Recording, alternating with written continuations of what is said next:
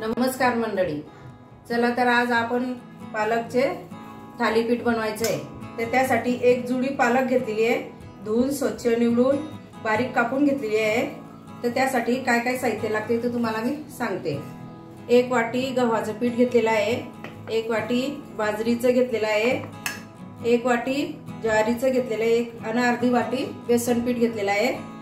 आणि ते हिरवी मिरची आणि लसण बारीक करून घेतलेलं आहे मिक्सरमध्ये. आणि एक वाटी आपण तंबीर घेतलेला आहे. तर आणि एक जिरं पावडर घेतलेली एक चमचा. दोन चमचे तीळ घेतलेली आहे. आणि अर्धा चमचा ओवा घेतलेला आहे. चला तर आपण आता पीठ मोडून घेऊया. सगळं साहित्य टाकून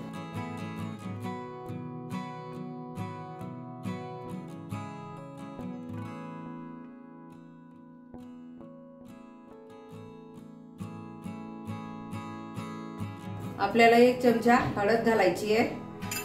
चवीनुसार मीठ घालायचं आहे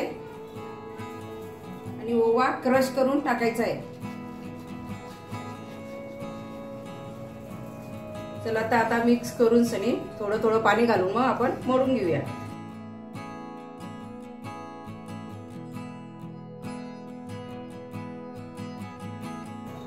थोडं पाणी घालून थोडं थोडं घालायचं चांगलं मोडून घ्यायचं.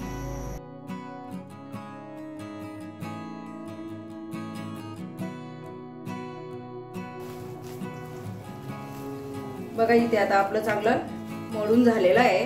आपण तेल लावून चांगलं अजून मळून घेऊया. एक चमचा तेल घातलेलं आहे. तर आता आपण चांगलं त्याला मळून घ्यायचं आहे आपलं पीठ मळून झालेलं आहे आता. चांगलं लुसलुशीत. एकदम घट्ट बी नको आहे हे बघा आपलं पीठ मोडून झालेलं आहे. तर आपल्याला आता थालीपीठ लगेच बनवायचं आहे चला तर आता आपण बनवूया त्यासाठी मी एक रुमाल घेतलेला आहे. तो ओला करून घेतलेला आहे. आणि परत आपण याच्यावर पाणी असं टाकून थालीपीठ थापूया. चांगलं ओलं करायचं आहे असं ओलं करून घ्यायचं आहे चला आता आता आपण थापून घेऊ. असा गोळा घ्यायचा.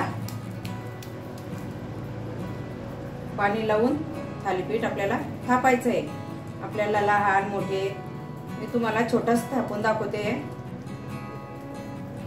असे थापून घ्यायचे. तुम्हाला तुमच्या मर्जी नुसार थापू शकता लहान मोठे. हे बघा इथं आपलं थालीपीठ थापून झालेलं आहे. तर आपण याला आता होल पाडून घेऊया. असे असे.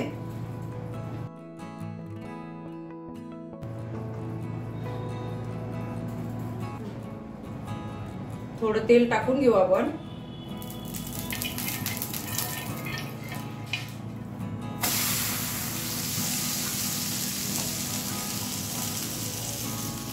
हे बघा असं थालीपीठ मी टाकून घेतलेलं आहे. तर आजूबाजूनं थोडंसं तेल घालायचं आहे असं थोडंसं घालायचं आहे आणि जे होल केले ना त्या ओलांवर बी थोडं थोडं घालायचं आहे म्हणजे खाली चिपकल्या जात नाही. मीडियम गॅसवरच आपल्याला थालीपीठ बनवून घ्यायचे आहे. हे बघा.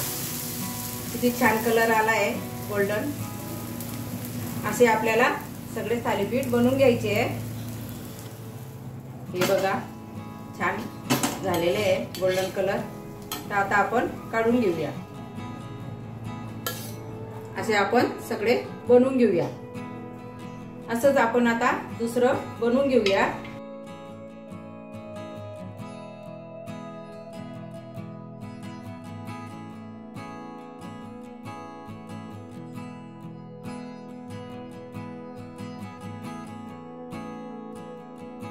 काढून घेऊया हे बघा. बघा आपले थालीपीठ तयार आहेत. बघा कशा लुसलुसीत झालेले आहे तर तुम्ही चटणी सोबत दह्यासोबत खाऊ शकता. तुम्हाला माझी रेसिपी आवडली असेल तर लाईक करा शेअर करा आणि सबस्क्राईब करा.